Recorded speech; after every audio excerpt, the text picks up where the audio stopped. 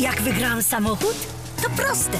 Założyłam konto w banku spółdzielczym i wzięłam udział w loterii. A tak, kupiłem za wygraną. Założyłem lokatę w banku spółdzielczym i wypełniłem kupon na loterii. Też wygrałam. Gotówkę. Wypełniłam kupon, kiedy brałam kredyt. Zostając klientem banku spółdzielczego i tak wygrasz korzystną ofertę bankową. Gratulujemy wygranej.